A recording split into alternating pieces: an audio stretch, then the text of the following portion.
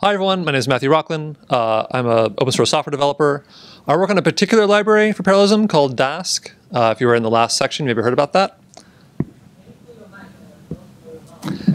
Okay, I'll try it again. How's this? Great. Uh, this tutorial was originally built with a few different library developers that work on different parallel programming libraries. And the intention was to talk about parallelism in general so that people can have a better understanding about how to choose sort of the right framework for their computation and about how to reason about parallel computing generally. So it's not about any particular tool, it's about sort of a variety of tools and more generally about how to think about parallel programming. Um, so if you came here looking for a Dask tutorial, that's not it. We're use mostly mundane technologies. There are a few web pages you should know. First, there's this GitHub repository, which has uh, some materials, some notebooks, also some installation instructions. Inside the instructions, it says to download Anaconda. Please do not do that. Uh, we've noticed that there's relatively low bandwidth uh, in this, this room. So if you need to download Conda, download Miniconda instead. Uh, or we actually have a cluster set up for you with everything you need. So you can do that too. But some people like to play along. They like to have everything on their local laptop, just so when they walk out of this room, they're still well served. Uh, so you can do that. You can follow these instructions uh, on how to um, conda install things. If you don't use conda, you can try using pip as well. Um, or you can download miniconda, which is a small conda installation. Um, if you want to test things, there's libraries that should be working. Um, then great. So the other web page you should be aware of is uh, I'm trying to get a better name for this, but bigfatintegral.net. Uh, we'd like to get this under a better domain. But if you press this button, uh, it will launch for you a four node cluster on Google Compute Engine. This will have all the libraries you need, all the data sets you need. It'll have Spark running, it'll have Dask running, it'll have IPython parallel running. Uh, and so if you don't want to install stuff locally, or if there's, say, low bandwidth, you can just click that button at bigfatintegral.net. That link is also inside the chat room. The chat room is here, gitter.im slash dask slash pydata-dc 2016. And that has all the links I've just mentioned, except for itself, because that'd be sort of silly. Within, so either you've started up a Jupyter Notebook server on a local machine, or you are clicking that button, and there are a few different places you can go. You want to go to the directory named PyDataDC 2016. That'll have a sequence of notebooks that we're going to run through. I'm going to go through the first three, and Aron will go through the last three. Uh, mine are sort of generally about how to think about parallel programming, and Aron's are about actual problems. So um, we're going to wait a few minutes. We'll get set up on that. If you have questions, please wave your hands wildly ask questions on the Gitter chat, or if you're totally fine, ask your neighbors if they need help, and maybe also go into Gitter chat. Um, so we're going to come back in around five minutes, make sure everything's okay.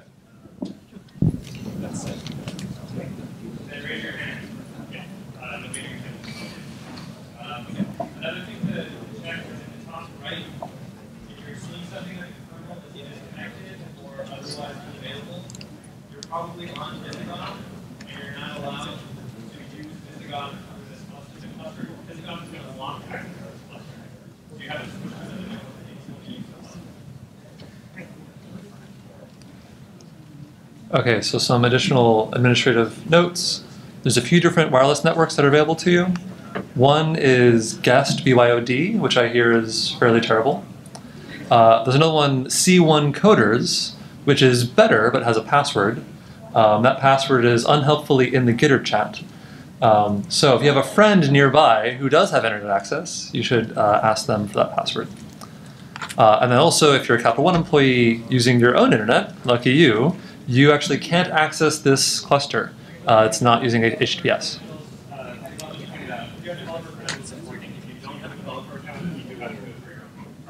Okay. Well, Capital One employees, you should listen to Aron. Okay, I'm going to start uh, going now. You can feel free to ignore me. I'm going to talk for around 10 minutes. There going to be exercises. We're going to swap between slides and explanation and exercises. I'm always going to sit down, unfortunately, because the sort of the mics are set up.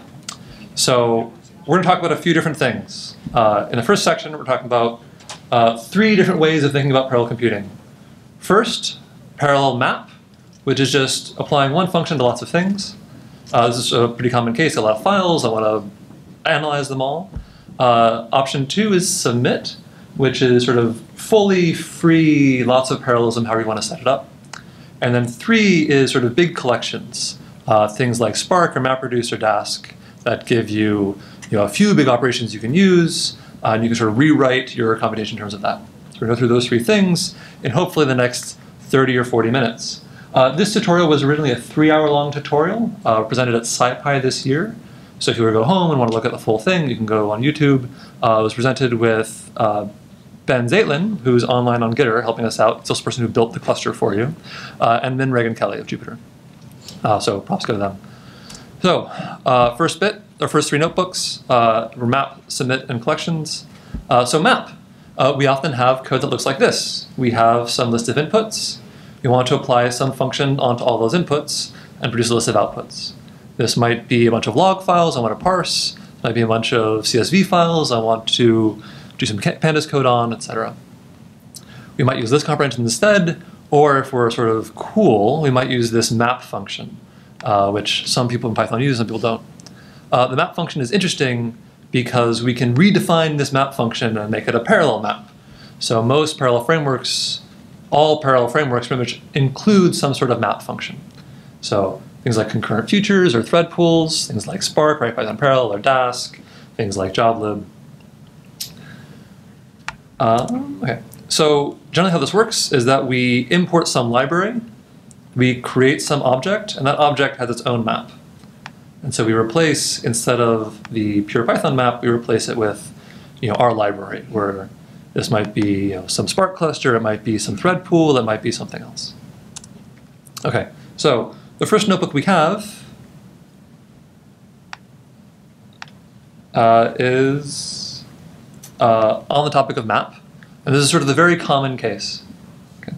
Uh, just show of hands, who here has used some parallel library to map over a function over data in parallel using map? Okay, it's around 20% of the room. Uh, how about something more complex than map? Okay, maybe about 10% of the room. Okay, this is, a, this is a pretty common case. This is a good tool to have in your belt. This solves, honestly, like 80% of parallel programming problems. You want to use all, all cores your computer, you want to use a big cluster, this solves most of them. Okay, so uh, before we start, we're going to generate some data. So we have some fake stock data. It's around you know, two megabytes of historical daily average data and we're actually going to be generating uh, this on like a 10 second interval basis. It'll look like real data, but it's definitely fake. Uh, so there we go. Uh, it's you know doing a bunch of work. This is all happening in parallel if you're interested in. What this is producing, this is producing uh, a directory with a bunch of data for us, both in CSV format and in JSON format. So the data set we're going to be working with for the first two notebooks, first three notebooks from a local machine, you've downloaded like two megs of data and it's now expanding out to like an uncomfortable gigabyte. Okay, so I have a bunch of file names, a bunch of files of JSON data. Okay. And so these are all for a bunch of different stocks. So you know, Apple's in here, you know, Amgen, etc. And what I want to do is I want to, let's increase the size here. And what we're going to do in this first example is we're going to uh, load up each file, read it in as JSON, turn it into a pandas data frame, and then write it out as, a, as an HDF5 file. And what this is doing is just changing the data format. JSON is really slow to work with, and HDF5 is really fast. So after we do this step, that's interesting. Uh, after we do this step, uh, everyone uh, all of our future computations will be faster.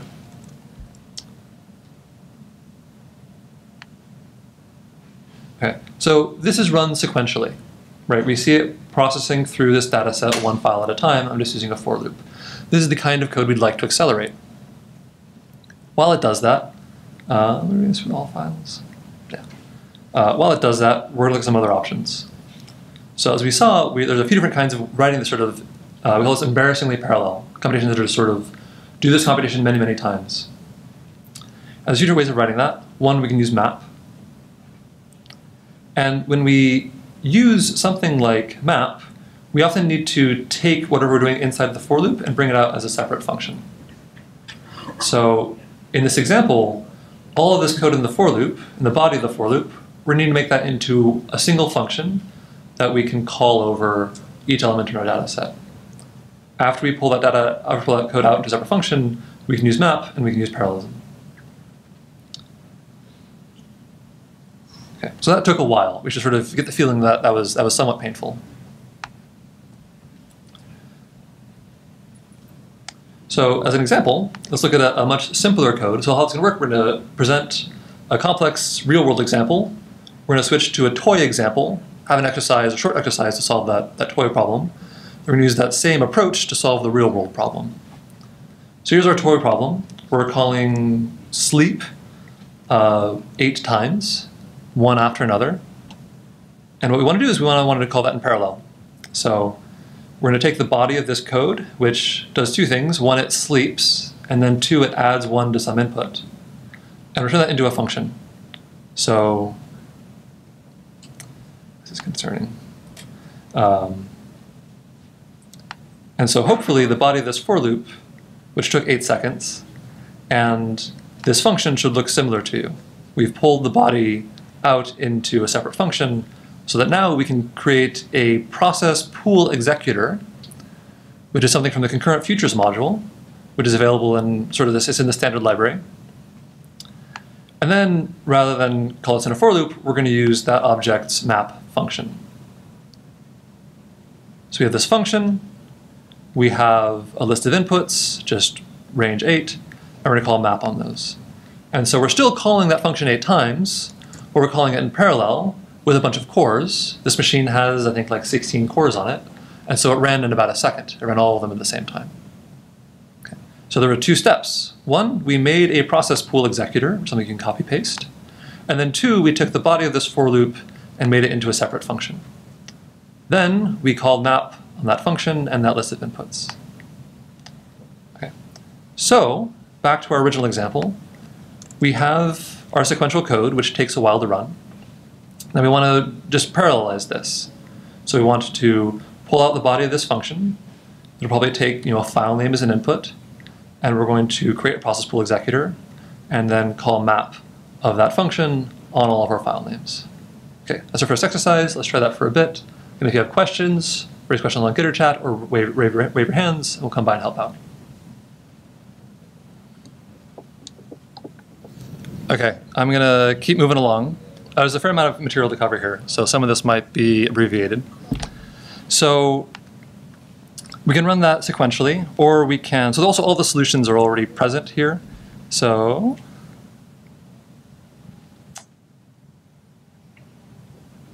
I get the impression that someone else is on this cluster, which is confusing. Yeah. Yeah. So uh, your clusters are all built with, with Kubernetes. So on Google Compute Engine, there's a system that can like spawn up all of what you want uh, when you click that button, which is, is neat. Uh, and so we should all be entirely isolated. But getting this weird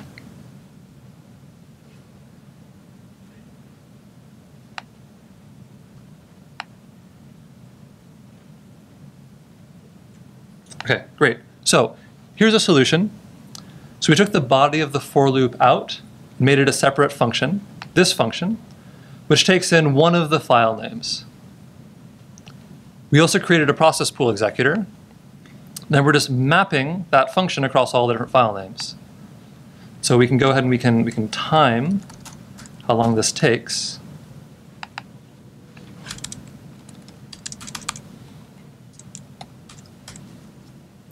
And this is going to run in parallel using all the cores on my machine, and it took two seconds, which is a lot faster than what we saw previously. Uh, this is, again, the common case. Most parallel computing problems sort of fall under this pattern. I've got all this data, I have this function I want to run, run on top of all that data, go. Um, many frameworks implement some sort of map. Here we're using concurrent futures, but again, most parallel computing frameworks implement some sort of map. Okay, um, parallelism isn't everything. Uh, this computation can be equally well accelerated just by using a faster JSON library. So just a, a quick reminder that you know, parallelism can solve your problems, but also just being a slightly smarter about libraries you use or about your algorithms can help just as much with much less pain. Okay, so that's map. Again, common case, fairly useful. Sometimes you have computations that are clearly parallelizable, but don't fit into this sort of standard map paradigm. For example, I have this nested for loops uh, where I'm sort of looking, I'm iterating over two collections, I'm then comparing the elements within those collections, and depending on if it's, you know, one is greater than the other, I'm calling F or I'm calling G. So there's a bit more logic here, right? It's not just map. And it's sort of, it's tricky to think about how I might, you know, write this code using one of these higher level frameworks. In these cases, it's nice to have a fallback, something that I can use to do parallelism without um, needing to use a big operation like a map or a group by. So for that, there's something called submit inside that same concurrent futures library. Submit is also, this, this interface is also implemented inside of things like concurrent futures, or Dask, or Python parallel, or multiprocessing. And that lets us uh, do parallel computing on sort of arbitrarily structured computations. Uh, so it's nice when sort of you have obvious parallelism, but it's not clear how to write that parallelism in terms of a framework. So how submit works is that we're going to have some sort of system we build, like a concurrent futures executor, and we're going to submit one function on top of some arguments. And this is just a single function call happening in some other process or in some other thread or on, or on some other computer. And I can call that many, many times. And rather than that running the function immediately and then blocking, it gives me some sort of future, some sort of promise that I can use to get the result when it's finished. Later on, I can call result on that future to wait until that result actually finishes. In the meantime, I can do lots of other stuff. For example, I can call submit many, many times. So here's one way in which you could implement map using submit. Submit is sort of a fine-grained version. So here I'm submitting a function on many elements of, a, of an input list and appending all of those features to some list. This happens more or less immediately. And then while we're sort of doing other things, maybe we're checking your email, maybe we're like plotting something, all of some other resources are computing those functions for us. And then they come back when we call result. Okay. So our previous example of this code that was clearly had implicit parallelism, but wasn't clear how to use map, we can, every time we wanted to call a function like f, we can replace it with a call to submit where submit takes as its first argument the function we wanted to call, and as the rest of the arguments, the arguments that we would have given to that function. So it's kind of like we're just moving this parenthesis over here to the left of f. So this code starts everything running in parallel, and then we need to call result on all of our futures to actually wait for them to finish. So uh, submit is a pretty powerful tool.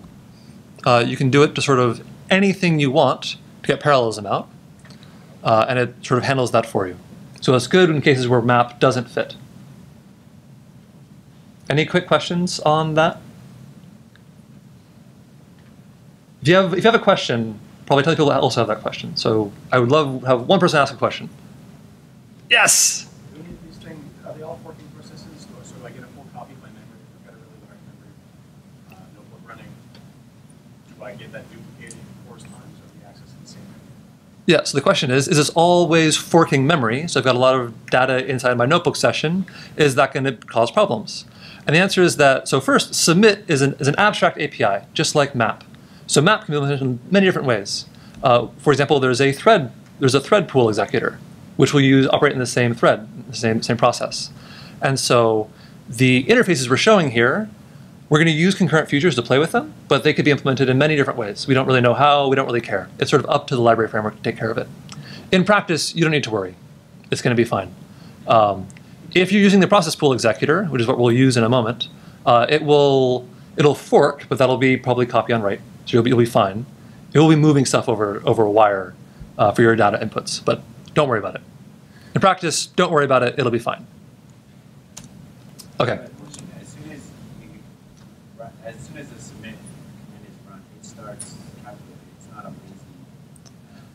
Yeah, so second question, uh, submit like triggers computation immediately, right?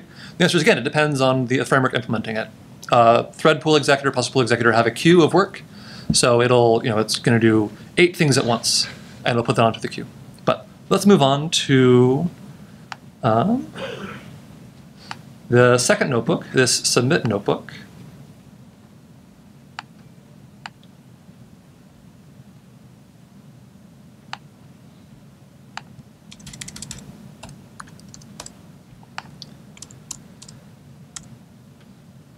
Okay, so we have the same data set here, but now conveniently built as HDF5 files from the last exercise.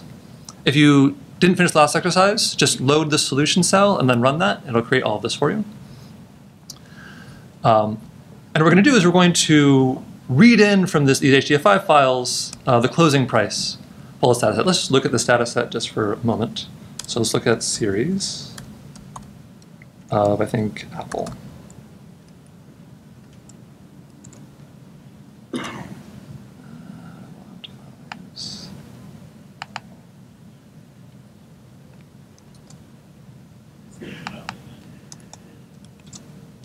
Okay, so this is the closing price of Apple stock uh, over lots of time. So we have inside of this dictionary the uh, closing prices of a lot of stocks, a lot of maybe, maybe similar stocks, maybe dissimilar stocks uh, over a span of time. And something you often want to do with this sort of data is you want to see how well they're correlated, or maybe find a couple of companies that seem to be correlated very strongly. So in the future, maybe if one goes up, you would maybe you know invest more in the other one. So one thing I might want to do is I might want to find the two stocks that are the most correlated. So here I'm going to do a few things. I'm going to, again, in a sort of sequential code here, this is the thing we're going to parallelize in a bit. We're going to iterate over all the file names twice. And if they are not the same, we're going to uh, compute the correlation of one series with the other. This is using the pandas correlation method. Notice a bunch. It'll take a little bit of time, not too long, about, you know, one and a half seconds. Uh, and this, this code is you know, parallelizable, but it would be tricky to do with map. So instead, we're going to use the same trick we did with submit to, to parallelize this code. So you're seeing something like correlation, you now need to write a function and then submit that function. Um, work. Let's do this thing. Okay, so it looks like there are two uh, stocks that are pretty well correlated. You can see their sort of correlation here. So we want to sort of find these stocks. Okay. So again, our computation starts out embarrassingly parallel. This is something we could do easily with map. We're loading in data from HDF5 file, many HDF5 files. Then there's a doubly nested loop with an if statement inside of it. This is maybe harder to use map for. There's more complexity here. And then finally, there's a reduction on all of our correlations to find the best one. And this is something that is just not very parallelizable. It's not a. It also isn't very. Uh, isn't very slow. So we don't we don't really need to parallelize this. The thing we're going to work on is this middle part, which is maybe the the hard part. So this submit function. If we have a function like slow add, which waits for some time, about a second, then returns the sum of two numbers, we can call that normally, or we can call it with submit. And you may notice that this ran instantly. Right? It immediately returned, and the state of that future was running.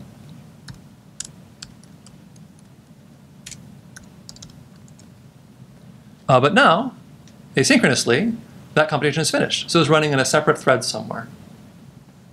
Okay. And if we want to, we can get the result back. Three. Okay. So this is concurrent futures with submit, which is a, handy uh, interface to have. So we did this just with one single computation, but we could have done this many, many, many times. For example, we can call slow add here in a list comprehension just normally on 10 numbers, and that's going to take roughly 10 seconds because it's going to delay one second for every slow add call. Or in the second cell, we can uh, submit slow add get back 10 futures. This line will finish you know, within a couple milliseconds. Then we're going to wait until we have all the results back. And that'll take however long we need it to take. Uh, this machine has, I think, a number of a fair number of cores, oh, we started a thread pool executor with, I think, four, four threads. And so it looks like you know it did four of the calls, it did four more calls, and did two more calls, and so it took three seconds total.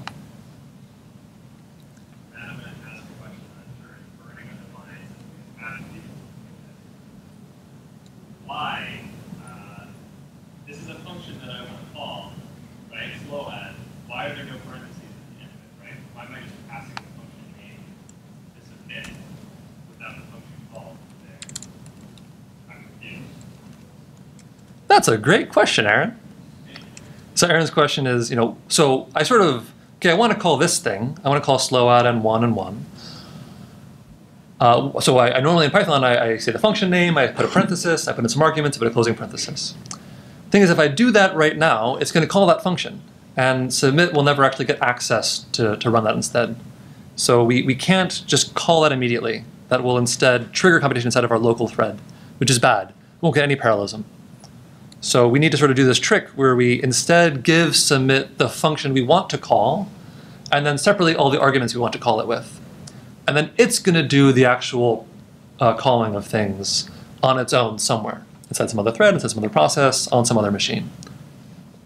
So a common mistake, though, is to do what Aron was just talking about, which is to actually call slow add in here. You can't do that. That's a common mistake. Then you're passing the result. Second? Then you're passing the result of the function.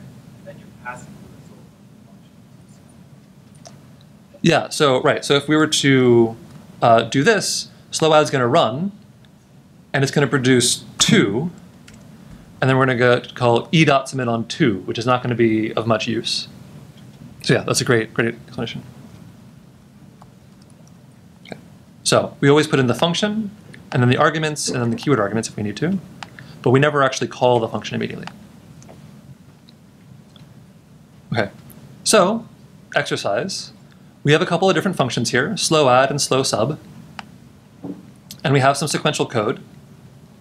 And we need to use submit inside of the sequential code to instead produce not a list of results, but a list of futures. Okay. This is going to be very similar to um, the code we were doing up here, but now it's something that you have to do in a small exercise.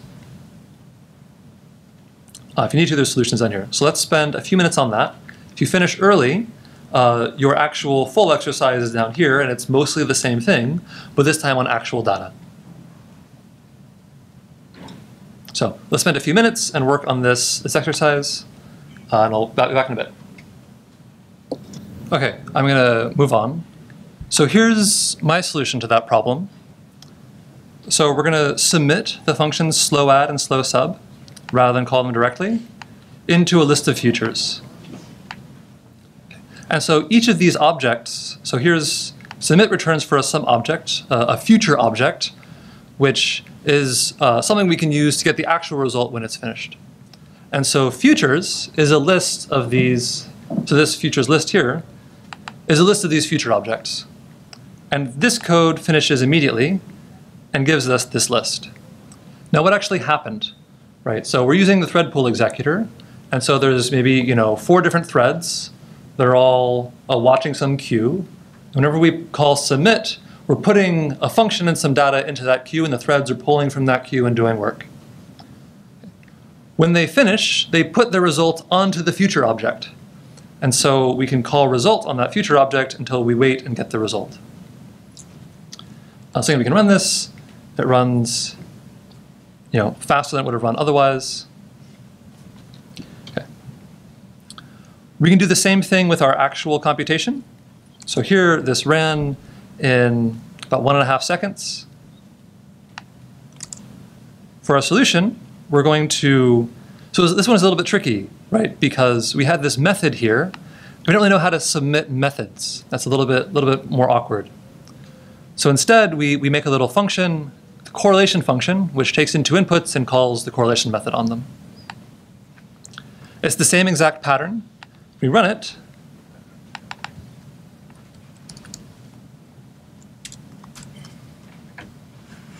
it ran in about you know half the time. Um, this actually wasn't a whole lot faster, right? This was maybe twice as fast and not you know four times or ten times as fast. and this computation, this correlation computation, uh, isn't very it isn't uh, very computationally intense. So it does, it's not easy to make it fast. So it's worth noting that a lot of parallel computing really just helps you with uh, you know, using multiple, multiple CPUs, but that might not be your, your bottleneck. It might be bottlenecked on disk inter, on disk I/O, on the network, on memory, on other things. Uh, someone else in the corner also asked, "Hey, you know, your these the correlation is symmetric, right? So it'd actually be a lot faster if you were to just only consider uh, half of these pairs. Uh, so we don't need to consider A and B and then B and then A. The correlation will be the same. We just need to consider, you know, one one of those pairs. And so we could have gotten the same speed up uh, just by being a little bit smarter about our problem. And then we didn't have to think about futures or threads or anything. We could have just been a little bit smarter. So again, always think about your computation before you parallelize. Um, as an exercise, uh, there's threads and processes. Uh, a good rule of thumb is if you're using NumPy, Pandas, scikit-learn, Numba, any sort of Cythonized code, you should be using threads. Uh, this reduces memory, um, moving data between processes, which is expensive. And Python is very good at parallelism for numeric code and threads. If you're using Python code, pure Python code, like dictionaries and lists and sets, you might want to be using processes. This is because of the GIL. You can sort of look online about why that is. But NumPy, Pandas, threads, pure Python processes. Uh, you can break this in fun ways. Okay. Um, so that's submit. And again, submit is good for sort of unstructured computation. There's a middle ground, which is sort of big collections. So things like Spark RDDs or Dask data frames or bags or arrays, where you have some large abstraction, like all of my data is a big table or is a big array or is a big list. Uh, and then you are restricted to a few operations, things like group by or shuffle or map or filter, and you can structure computation with those big operations. And that framework provides for you a few things you can do that are safe, and everything else is sort of not safe. Uh, so if you can sort of rewrite your computation in a few of these sort of patterns, uh, some of these sort of semi-structured collections might be a good choice. So there's sort of a middle ground between map, which was just one pattern and fully, fully sort of restrictive. You do one thing. Submit, which is you know, sort of anything you want to do, you can do. Uh, and the sort of middle ground of you have a few different operations you can use, and you try to compose your, your algorithm in terms of those operations. So this works in lots of cases, like for you know, SQL databases or for data frames, if your data, if your computation fits inside of that mold. Um, we're running a little bit low on time. Uh, so the next exercise you can do in either Spark or, or Dask. It'll look mostly the same. I'm to use, I work on Dask, so I'm going to use Spark just to be sort of egalitarian. Um, but there's like a one word difference inside of these two. So we have this, the same sequential code from before, where we are, um, uh, let's, let's make a copy.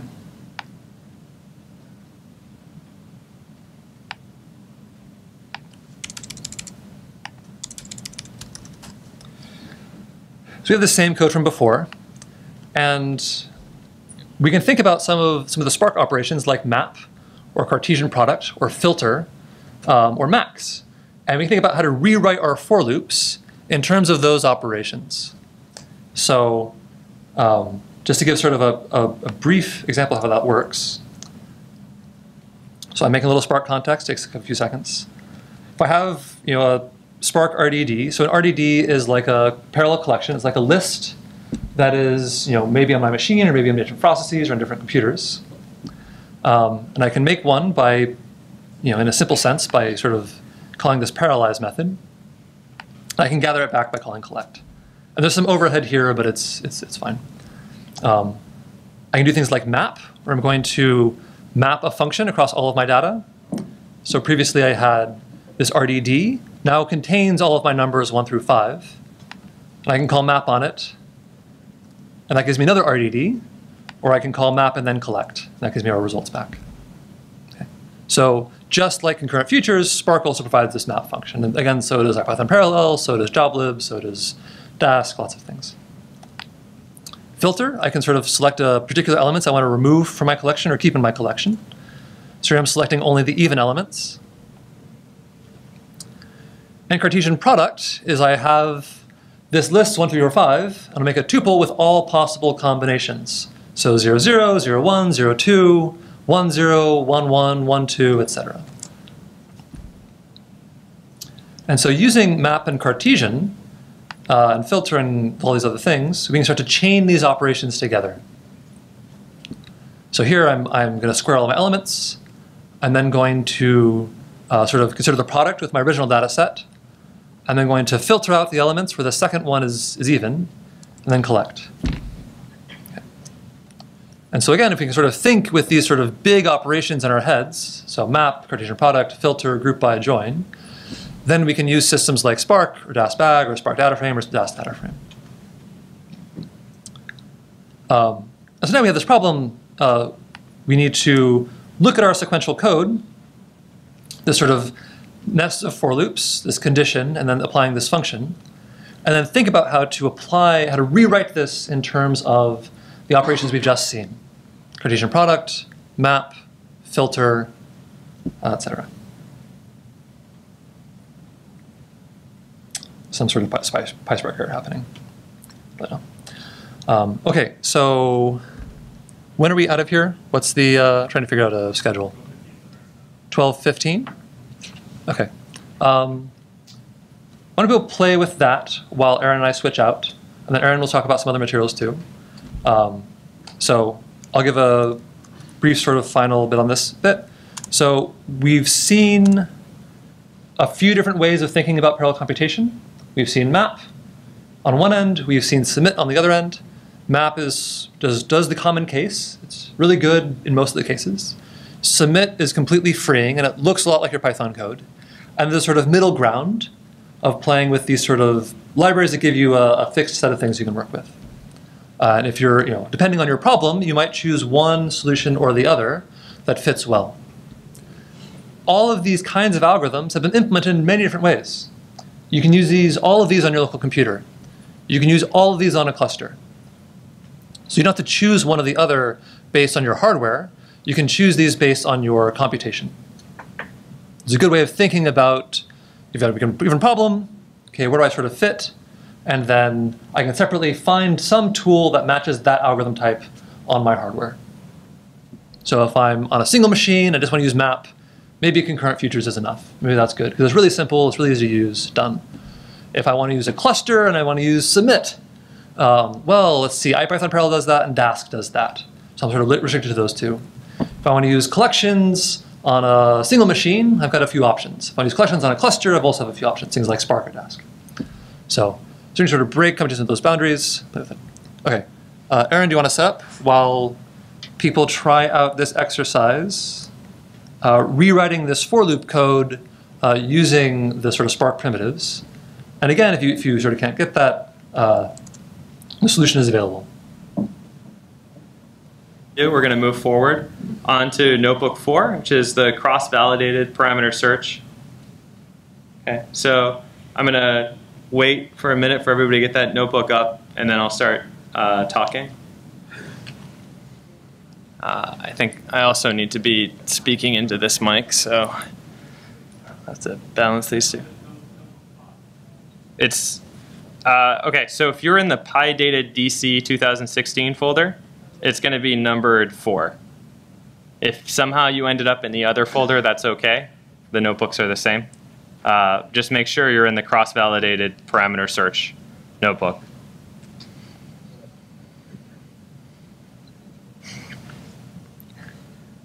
Okay, so uh, go ahead and raise your hand if you've got that notebook up. Raise your hand if you need some more time. Okay, so I'm going to move forward and I'm going to let uh, Matt and Hussein help out with anybody who still needs some time. Uh, Hussein's joining us, and he's already been voluntold.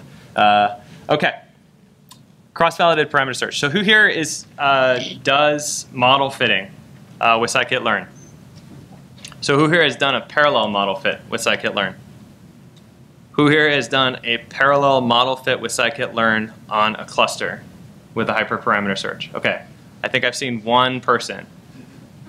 At the end of this exercise, you will all have done a parallel hyperparameter search for a model fit on a cluster. Okay. Actually, you'll have done it on a node, but the steps to go from a node to a cluster in Dask are trivial. So uh, we're going to talk through this. Uh, go ahead. Do I have a mic? I am mic'd. You know, there's probably just no speakers on that end of the room. I can switch mics with Matt.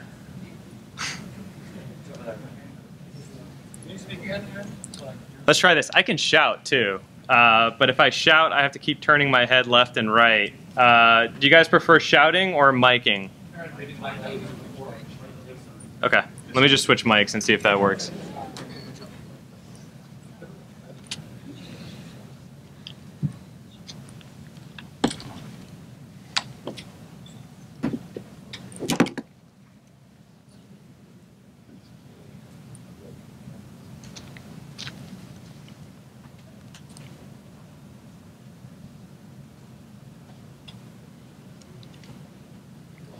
Of course.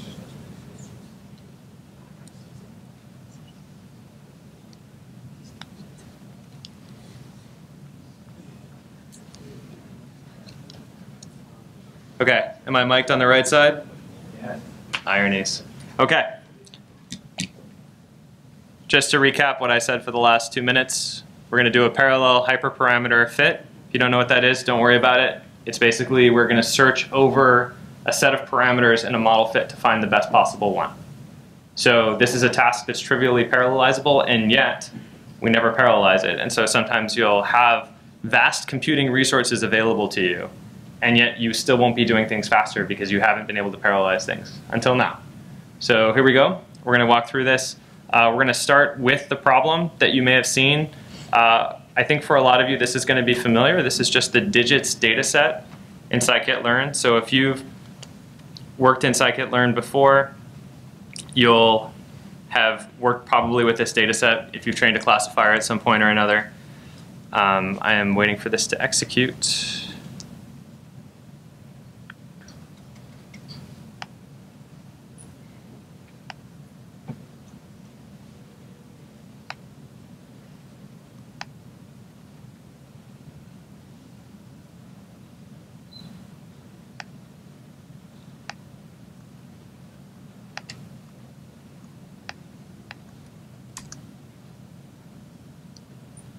Okay.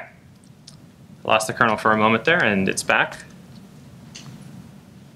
Okay, so this is the problem. You have, go ahead. You need to be in the notebooks directory. There's a source file that wasn't moved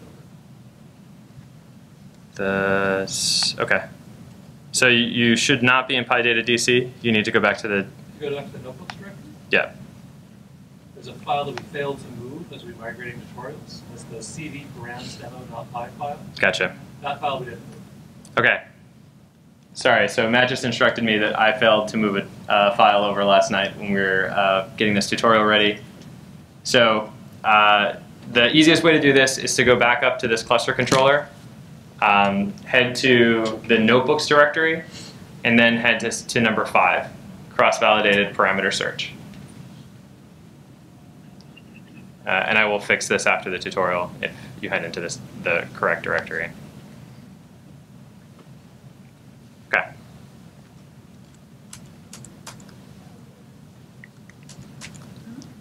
So just taking a quick look, what we're looking at is a set of data where we have handwritten digits. And we know that we want those digits to go to map from 0 to 9. And so for each of these digits, probably the best guess here is that this was a 0, for example, but we don't want to do this by hand. We want the computer to, to do this for us. So if you step forward, this import should work. If it didn't work, you need to move over to the other no- notebook directory. Again, come up to the home, go into the notebooks directory instead of the PyData DC 2016, and then open notebook 5, cross-validated parameter search. Okay. So here's the parameter space. There's uh, a couple of different uh, parameters uh, used in, uh, I believe that this is a support vector classifier. So there's a couple of different parameters that uh, show up in a support vector cla uh, classifier. Uh, I believe that C is the penalty parameter, uh, gamma is the kernel coefficient. Uh, this one's actually relatively important. That's the stopping criterion. Um, the default that a library like scikit-learn gives you may not actually be suitable for your use case. Right? So you may actually want a model that has uh, really tight convergence or a really tight uh, attempt at, at error convergence. And so depending on what your criterion, you may need to change this tolerance. So don't just always rely on the defaults. Uh, don't even necessarily rely on what comes out of the hyperparameter space. Take a minute and think about what your actual loss function is and what you're trying to get to. Um, this is a little bit of a preview for a talk that's coming up uh, on Sunday by Chris White. So uh, if you have some more thoughts about that, you can come see him after the talk, or you can come go watch his talk in the afternoon. Okay. So uh, obviously, when you train a model, you don't want to train on your test data. You split it. Uh, so you have a cross-validation set. Uh, scikit-learn uh, makes that easy. And what we've done in this CV params demo file is we've done some of the work ahead of time for you in terms of splitting this data set up so that you can work or operate on individual pieces of the cross-validation set. Okay, so we have a, a training set uh, and now what we're going to do is we're going to run through this parameter space uh, just sequentially. And did I miss something? Say again? Oh. Oh. That. It's a quick way to not execute things correctly. Okay. So this is a coarse-grained search that we executed in serial, and we're doing it slowly because we're doing it in serial. Uh, we're doing a small coarse search because we're in serial. So the exercise here so this is just a, a quick plot of uh, the parameter space that we're searching over. So um, you'll find that these uh, in the lower right are the better solutions, but we don't really have a good understanding of what this space looks like. And so we can do a, a much more high resolution parameter search um, if we do it in parallel. So again, this is the, the number that you may want to uh, increase. This is so this is just a uh, pair of splits, so you could have more splits. Um, and then this is a parameter grid that we have sort of uh, 10 by 10. Uh, and again, once you have this in parallel, you'll increase this so that you can have a more high resolution search. Um, there's two solutions here that uh, you can look at. But why don't you start as an exercise now try and apply all the things that you've learned uh, in the first 45 minutes with Matt. Uh, if you get stuck, you can either talk to a friend, you can raise your hand, or you can look at the solutions files. Um, so there are two solutions that have been uh, saved to you and are already available. Uh, what I'm going to do is I'm going to paste into the Gitter room with my password.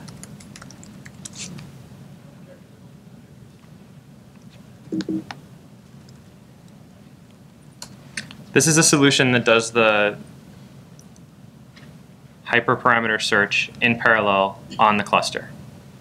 So I'm going to show you the differences between this solution and the uh, solution one, which is Okay, I'll, I'll just load it into another cell so we can look at them next to each other. Oh, it's just the cell above. I see it now. Okay. Okay, so this is the original solution. You all have this in front of you. You can pull up a thread pool executor or a process pool executor. Both would work. Okay. And then here's the work, right? You submit a function that evaluates a single uh, sort of model fit, right? That's what the evaluate one is doing. It's just taking a specific set of parameters and it's trying to fit the model there. And then it's appending that result into the list of futures, and then it's just uh, forcing these results to return. It's going to block on all the results here in this last bit. This is that solution, but now it's been uh, we can say Daskified, right? Okay, so instead of using a thread pool executor, we say from Dask distributed import executor. And progress is just a little bit of uh, sugar here that makes it easier to see how things are going and detect if there's a problem. Okay, and of course, this code is going to work for you as well because you have if you have a cluster up. Uh, so if you're logged into Big Fat Integral, uh, you'll be able to, to execute this. You set up E equals executor, uh, schedulers 9000. That's just telling the schedulers what port to look for and, and where to go. Okay. This upload file is there because this cvparams demo.py is not on the other cluster nodes.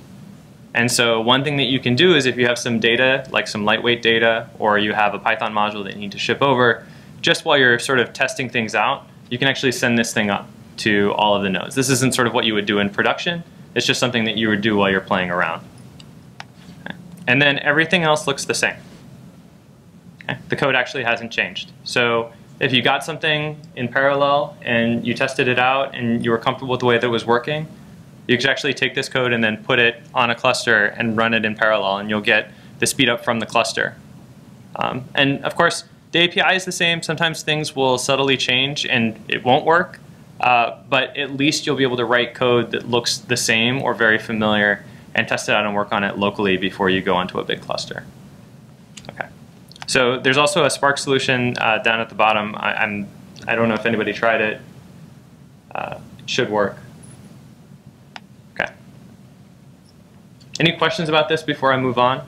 I know this is, we probably gave this thing not even a tenth of the time it deserves.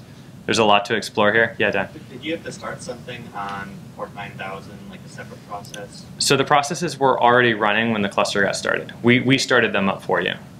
Um, go ahead. Can you increase the number of samples and then run that again and plot it, just so they see what the space actually looks like? Sure. So increase ten to maybe a hundred, oh, down low, ten to a hundred. Uh, up. Up, up. Up. And then run the mask samples. Okay. Let's, let's plot the result.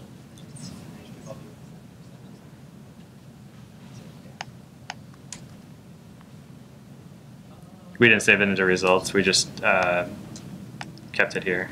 I got it. Yeah.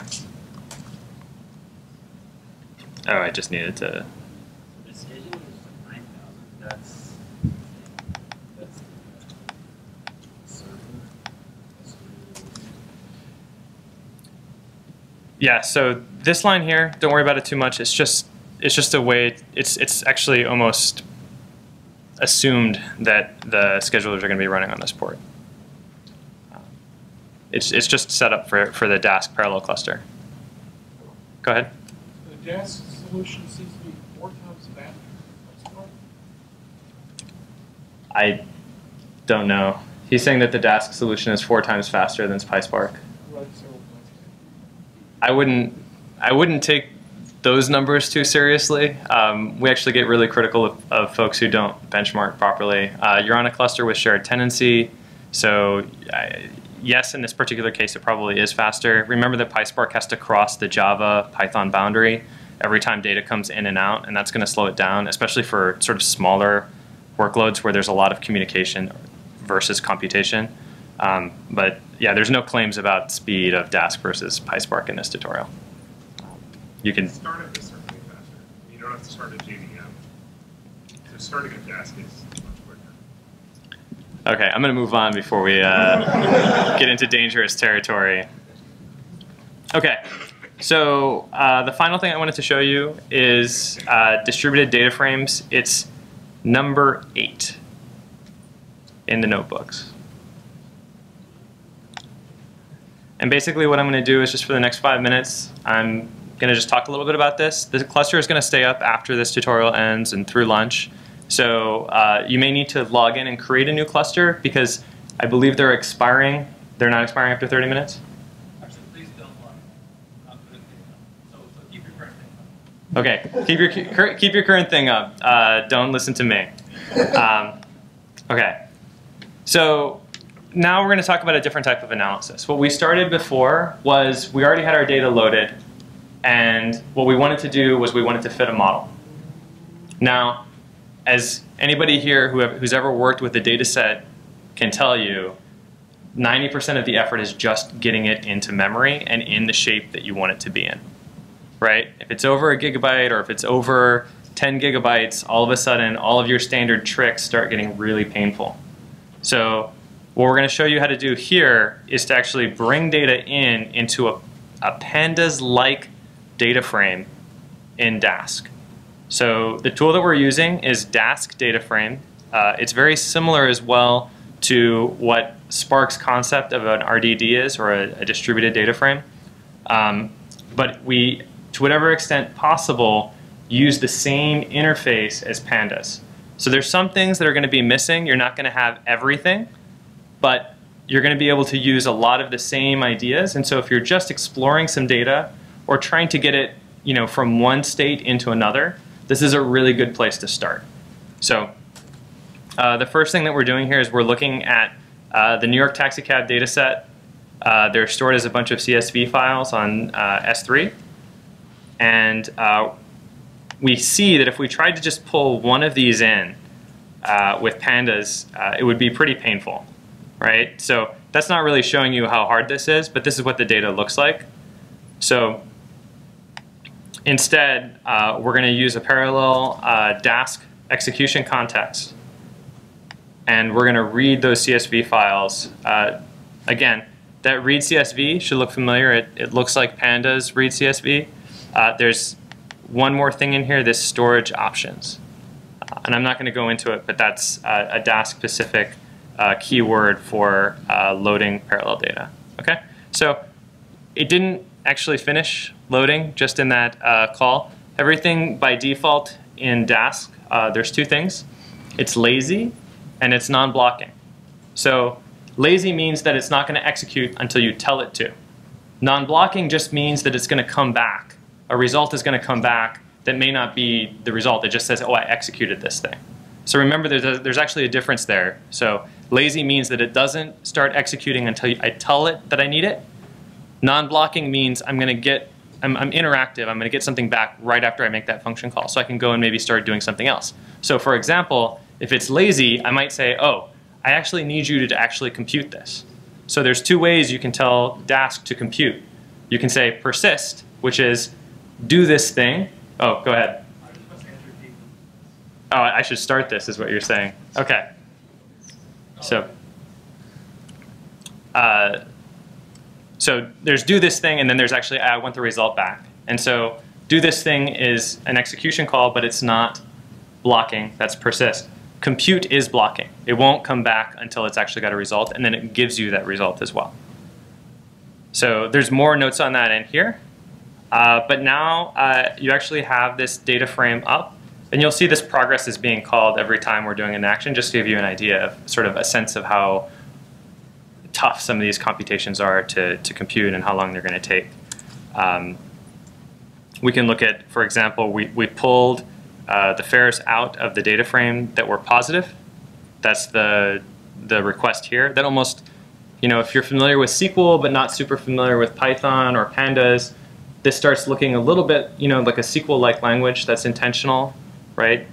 Pandas data frames are sort of this in-between of arrays or tabular data and SQL-like or database-like access to your data.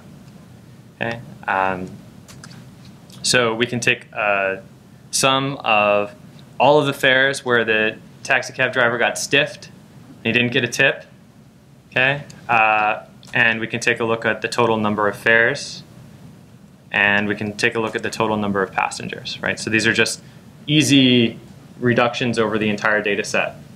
Okay. So it's 12.15. I'm going to turn it over to Matt. I have to run. I've got another uh, thing I've got to run to. It has been awesome. Uh, this has been really fun. Uh, follow up with us. Come to the happy hour tonight. And uh, thanks.